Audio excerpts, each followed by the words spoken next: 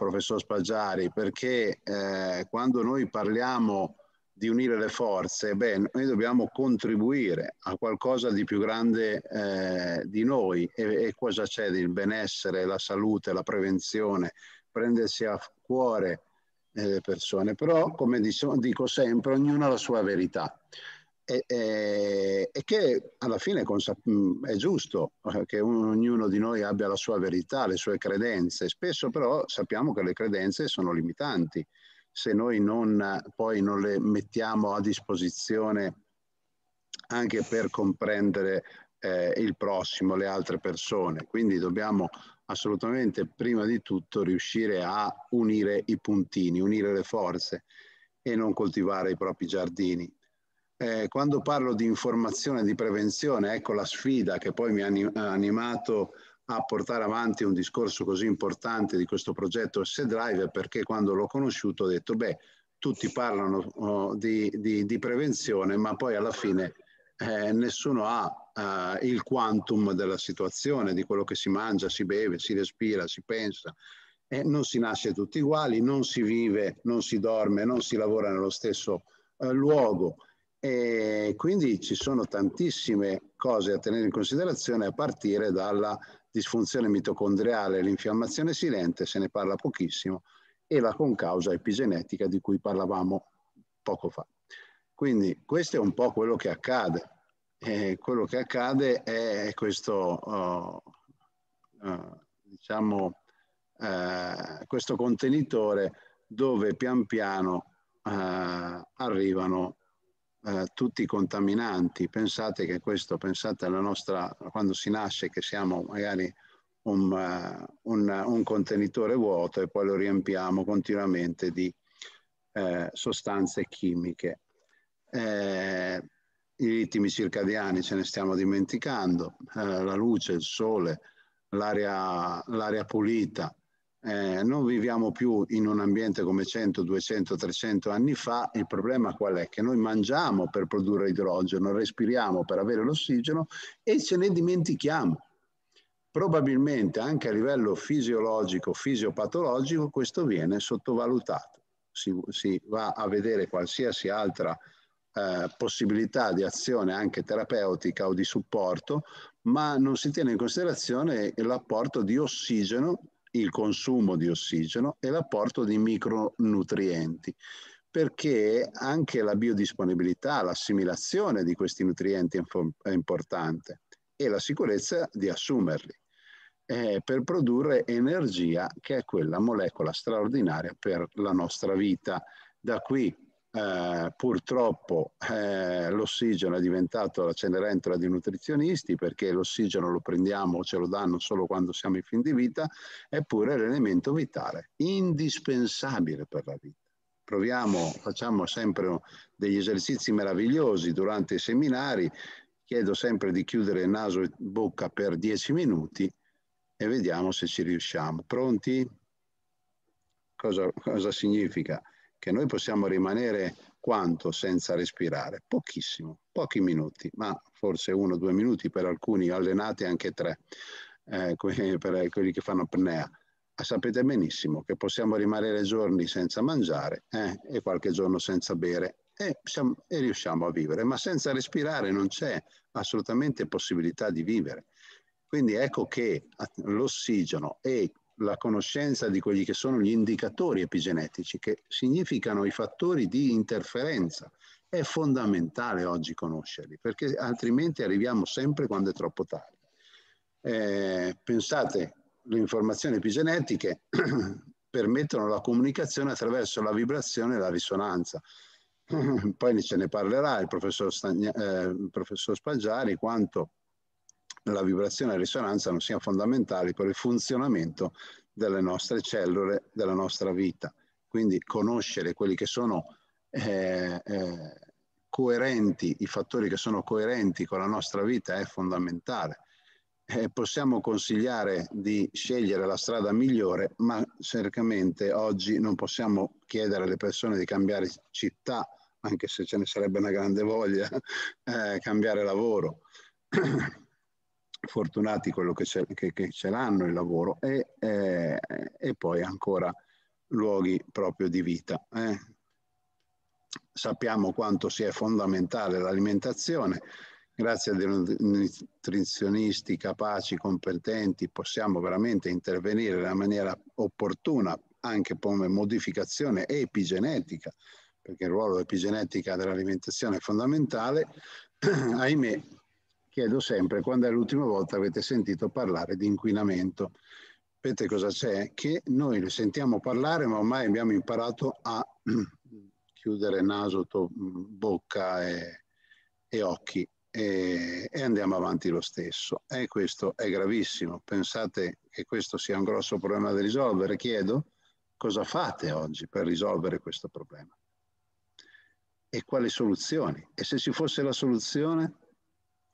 Allora, è proprio qui il fulcro, che noi queste domande non ce le facciamo e probabilmente non le rivolgiamo neanche al, al paziente. Questo è il grosso problema. Gli ultimi dati, dati, del Ministero dicono che 4 su 10 muoiono di infarto, ictus e altre malattie. Sono vere e proprie pandemie. Io quando vedo eh, che, che, parlano di pandemia dico ma di queste pandemie non ne parliamo più, neurodegenerazione, aterosclerosi metaboliche, tumori e, e, della rimetilazione del DNA. Adesso c'è qualcuno che scrive, vabbè, la rimetilazione del DNA, il fatto che comunque bisognerebbe assolutamente eh, eh, intervenire lavorando anche sui fattori di carenze nutrizionali come il gruppo di vitaminico B, l'acido folico, i folati, la metionina e anche questo come facciamo? Quanti esami dovremmo fare per capire quali sono veramente le carenze legate a questi fattori? Le difese immunitarie sappiamo importantissimo in questo momento quanto siano fondamentali alzare difese immunitarie, però eh, dobbiamo contrastare l'infiammazione, contrastare veramente questo killer eh, killer segreto, silenzioso, che è eh, poi responsabile delle varie cardiopatie, tumori, Alzheimer, patologie. E, mh, parlare di reali rischi congeniti. Beh, già nel 2001 eh, si parlava eh, sul Times, nella pagina di copertina del Time, attenzione a tutte le scelte che fai prima del concepimento e poi in gravidanza, perché condizioneranno le future generazioni. Ecco perché, come si diceva prima, anda proprio il discorso epigenetico la regolazione di questi meccanismi fondamentali della vita, dove però, come vedete, siamo nel ciclo eh, di cosa? Delle malattie, siamo veramente una continuazione progressiva eh, della, della nostra vita. E queste, le programmazioni eh, la, la, la, come ci insegna il professor Burgio, da sempre tutte le malattie vengono programmate a livello fetale. Cosa stiamo facendo per la salute dei prima, eh, dei, dei, la salute dei genitori prima del concepimento? Ben poco, interveniamo sempre eh, quando è troppo tardi. Pensate alla, al progetto dei mille giorni se prevenire è meglio che curare, noi dobbiamo fare prevenzione prima del concepimento, salute delle cellule sane per differenziazione sana e poi future generazioni sane. Quindi proteggere la vita, dove però purtroppo l'esposizione chimica ambientale influenza il metabolismo. Allora ecco perché oggi vogliamo presentare come intervenire, dove se è vero che tutti questi fattori interferiscono nella nostra salute, cosa stiamo facendo oggi per evitare che tutta questa interferenza eh, sia sempre più limitata eh, da un'attenzione, da un prendersi veramente a cuore, a cura delle, della, della salute delle persone attraverso un'informazione corretta di quanto l'inquinamento abbia un impatto fondamentale sulla nostra vita, anche nel, attraverso una ricerca di un equilibrio nutrizionale ottimale. Quindi conoscere eh, questo meccanismo di apporto di ossigeno ottimale, nutrienti, è fondamentale perché poi alla fine, scusate qui c'è una ripetizione,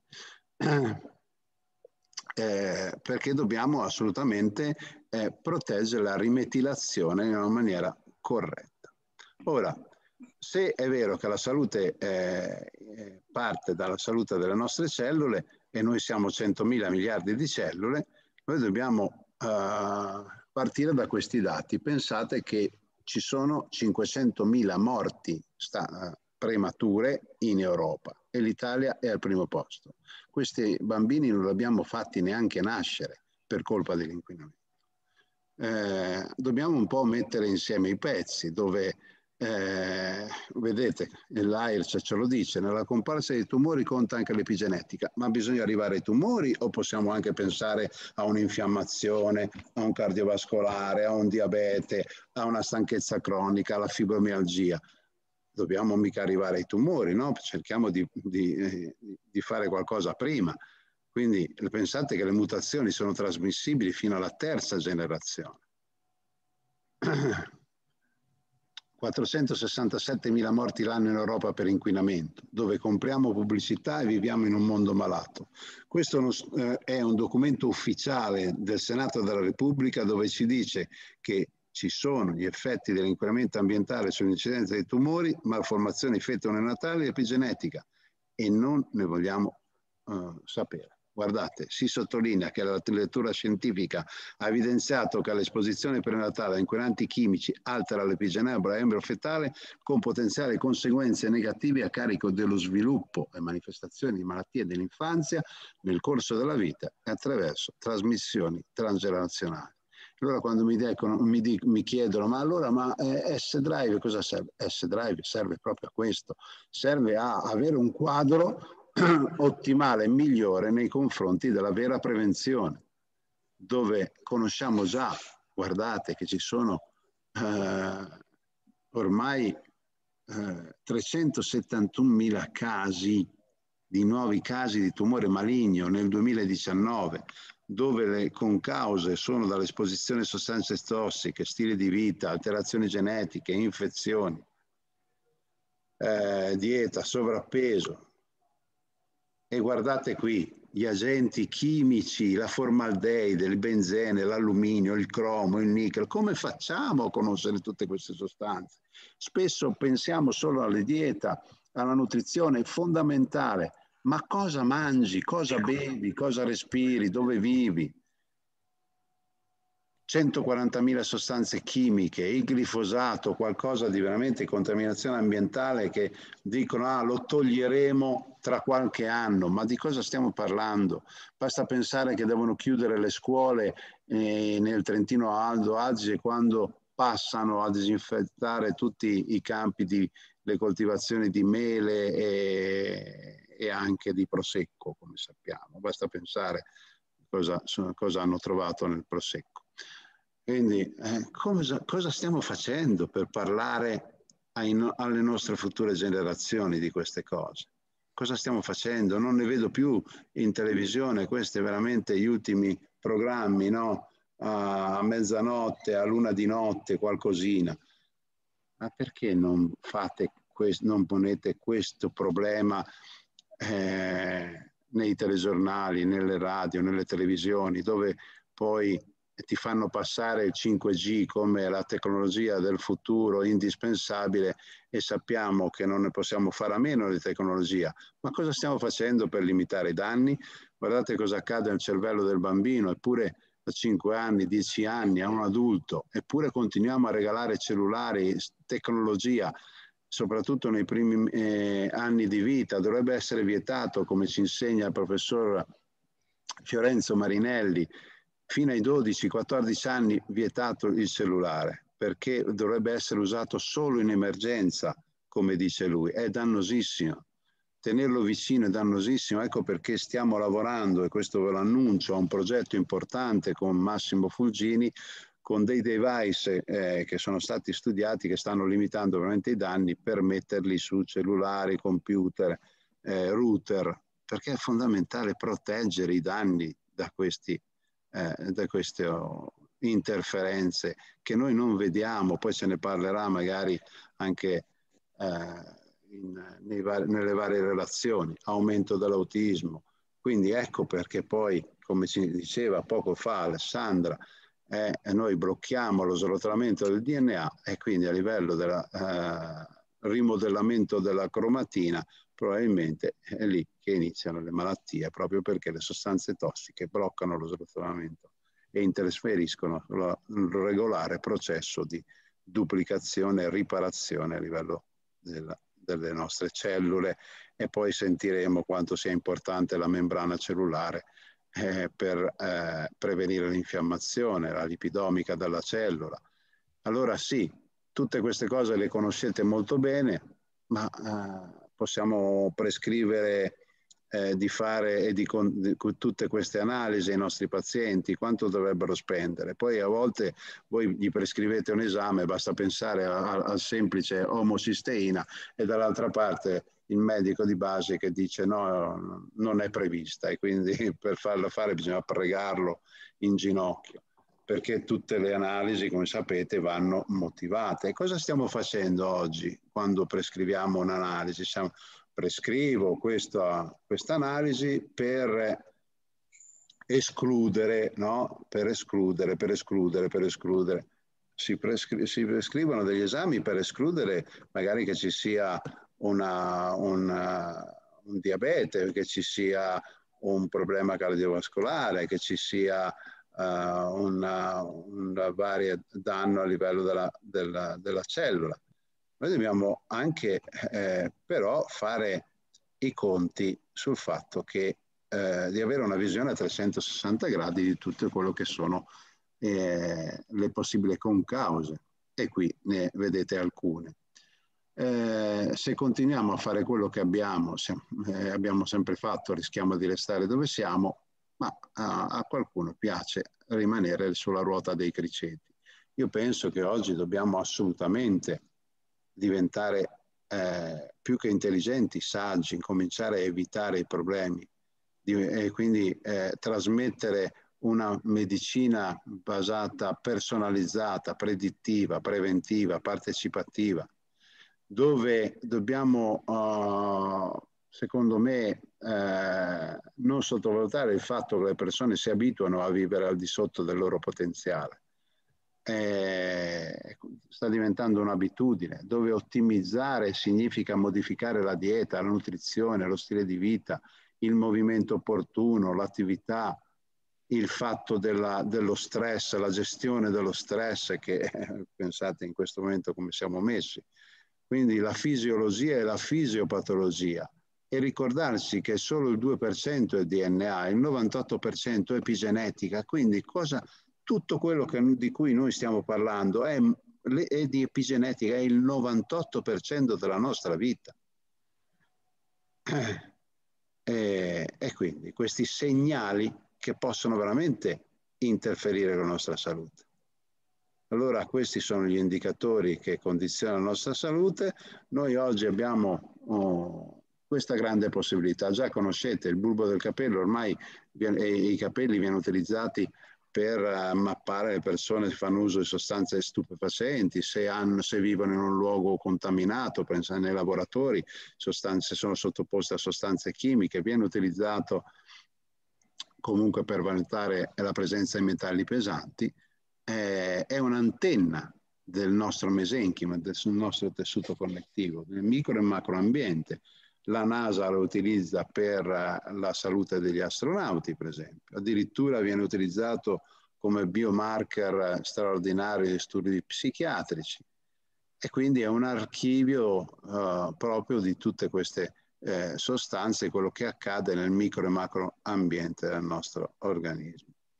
E archivia anche le tossine pericolose. Oggi, grazie a S-Drive, noi possiamo avere la uh, la visione di quelle che sono le interferenze eh, per la salute delle persone. Questo S-Drive, pensate che noi mettiamo 4-5 bulbi, quindi capelli, al centro di questa bobina e, e, questa tecnologia straordinaria, tecnologia russa e tedesca che lavora per eh, generando uno spettro di frequenze, ce ne parlerà il professor Spaggiari, è in grado di mappare proprio uh, le, le frequenze da un punto di vista biofisico e regalarci poi un report specifico di un'onda caratteristica di quella persona. E conoscere, pensate, oltre 800 marcatori chiave che potrebbero interferire sulla salute della persona. Si passa, parla di frequenze, alcuni no, dicono ah le frequenze, beh il nostro cervello, i nostri pensieri sono onde, sono frequenze, sono, eh, è biofisica. Noi vediamo, pensate a come riusciamo a, a, a, come funziona il nostro occhio, come funziona il nostro udito, come funziona eh, quando vogliamo fare un esame specifico, l'elettrocardiogramma, l'encefalogramma, ne parlerà risonanza magnetica, ne parlerà il professor Spaggiari. E vi, eh, vi voglio anche eh, dire questo, vedete questa fotografia? Questa è una foto della, del sito, mh, presa sul sito della NASA, che eh, ci dimostra che noi siamo dentro un grande consega- con, uh, condensatore, dove all'interno di questo condensatore c'è una frequenza specifica che ci dà la vita e si chiama risonanza di Schumann. Eh? Andate dentro al sito della NASA, scrivete onde di Schumann e vi apparirà, apparirà quella fotografia.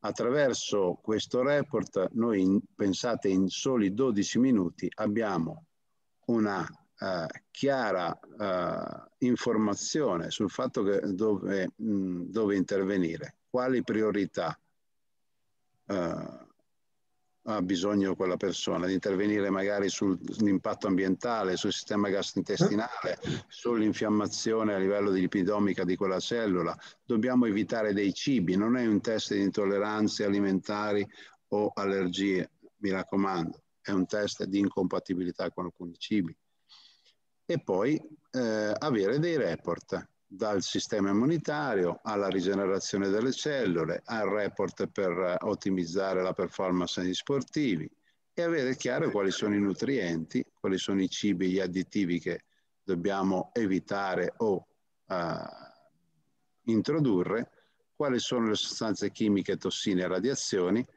l'indicatori di resistenza batteri, funghi, muffe, virus. Ecco, quanti esami dovremmo fare per avere tutte queste informazioni? La clinica è importante se abbiamo un quadro tra quello che ci dice il paziente quello che pensiamo noi, ma quello che ha bisogno il paziente. Ecco, questo test S-Drive ci permette di conoscere quello che il paziente ha bisogno. Altrimenti quanti esami dovremmo fare per capire magari se la persona dorme tutta la notte col wifi acceso, se ha il cellulare sotto il cuscino e, e magari sta subendo dei danni importanti. Quindi avere un piano nutrizionale di 90 giorni che ci permette di rigenerare proteine, cellule e tessuti. Quindi migliorare la qualità della vita della persona, rafforzare il suo sistema immunitario eh, è una sorta di navigatore GPS, perché se poi voi riuscite a, a fare questo test ogni 90 giorni, naturalmente guidate la persona a prendersi a cura di sé e fare vera prevenzione. Questi sono tutti i vari eh, report, il, le pagine del, del report, vitamine, minerali, aminoacidi, sistema antiossidante, eh, interferenze campi elettromagnetici, sistema gastrointestinale, abbiamo la pagina sul sistema immunitario, la pagina sul sistema gastrointestinale, sistema cardiocircolatorio.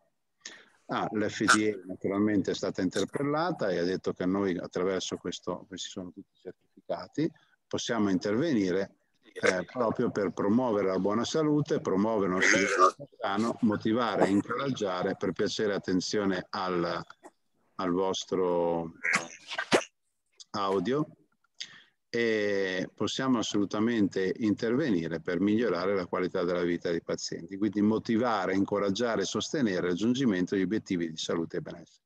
Penso che è quello che ci accomuna a tutti, proprio prenderci a cuore dalla salute delle persone, quindi accettare questa sfida.